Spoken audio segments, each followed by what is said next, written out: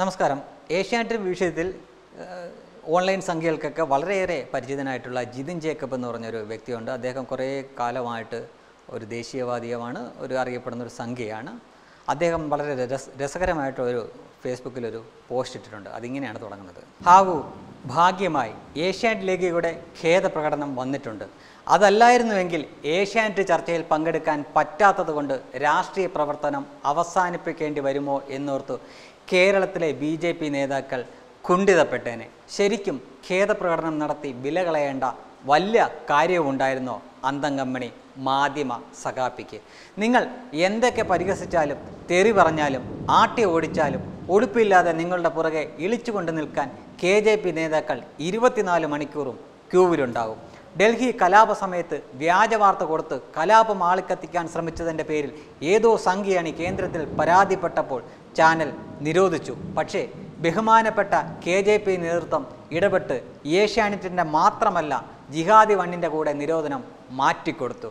വ്യാജ വാർത്തകളുടെയും വളച്ചൊടിക്കപ്പെട്ട വാർത്തകളുടെയും കുത്തക ഇപ്പോഴും നിലനിർത്തുന്ന മനോരമയിൽ ഇന്ത്യൻ പ്രധാനമന്ത്രിയെ എല്ലാ എതിർപ്പുകളും അവഗണിച്ച് കൊണ്ടുവരാൻ മുൻകൈയെടുത്ത കെ ജെ പി നേതൃത്വത്തിന്റെ വിശാല ചിന്താഗതി കാണാതെ പോവരുത്. സംഘപരിവാറുകാർ ഫാസിസ്റ്റുകൾ എന്ന വിളി കേൾക്കാനും അതേസമയം സഹിഷ്ണുതയുടെയും മാനവികതയുടെയും സമാധാന മതക്കാരുടെ അടികൊള്ളാനും വിധിക്കപ്പെട്ടവരാണ് ഹേ.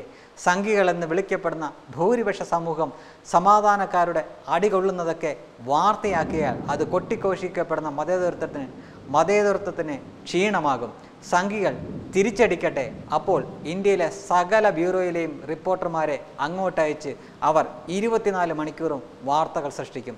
ശരിക്കും പറഞ്ഞാൽ ലിബറലുകൾ എന്ന ക്രിമിനലുകളും മത തീവ്രവാദികളും വിലക്കെടുത്തിരിക്കുന്നത് ഇവിടുത്തെ മാധ്യമങ്ങളെയും സാംസ്കാരിക ചെന്നായ്ക്കളെയും മാത്രമല്ല കെ ജെ പി നേതാക്കളെയും കൂടിയാണ് എന്നാണ് തോന്നുന്നത്.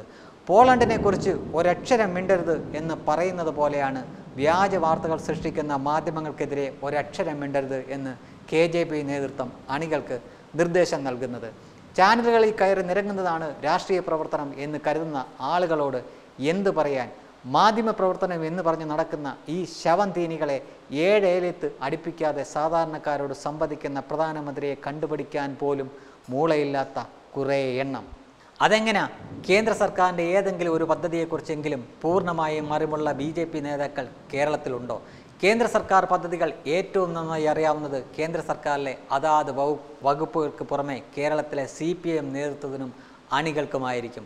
ഇത്രയൊക്കെ പരസ്യമായി അവഹേളിച്ചിട്ടും ഇന്നും ഏഷ്യാനെറ്റിന്റെ മൈക്കിന് മുന്നിൽ ഒളിപ്പില്ലാതെ ചിരിച്ചുകൊണ്ട് നിൽക്കുന്ന കേന്ദ്രമന്ത്രിയും പാർട്ടി പ്രസിഡന്റും അണികൾക്ക് നൽകുന്ന സന്ദേശമെന്തെന്ന് പകൽ പോലെ വ്യക്തം. ബംഗാളിൽ കൊല്ലപ്പെട്ട ബി ജെ പി പ്രവർത്തകരെ ഏഷ്യാനെറ്റിനേക്കാൾ കൂടുതൽ അപമാനിച്ചത് ഇവിടുത്തെ നേതാക്കളാണ് എന്ന് പറയേണ്ടി വരും. ഏഷ്യാനെറ്റ് ബഹിഷ്കരിക്കണം എന്നൊക്കെ പറഞ്ഞ് സോഷ്യൽ മീഡിയയിൽ ബഹളമുണ്ടാക്കുന്ന ബി ജെ പി അണികളോട് സഹതാപം മാത്രം. ഇതുപോലെ വ്യക്തിത്വമില്ലാത്ത കുറേ നേതാക്കന്മാർ ഇവരെ വിശ്വസിച്ച് രാഷ്ട്രീയ പ്രവർത്തനം നടത്തുന്ന കേരളത്തിലെ ബി ജെ പി അണികളെ സത്യത്തിൽ സമ്മതിക്കണം. ഇങ്ങനെയാണ് അദ്ദേഹം അദ്ദേഹത്തിന്റെ പോസ്റ്റ് അവസാനിപ്പിക്കുന്നത്. Web desk ったと思います。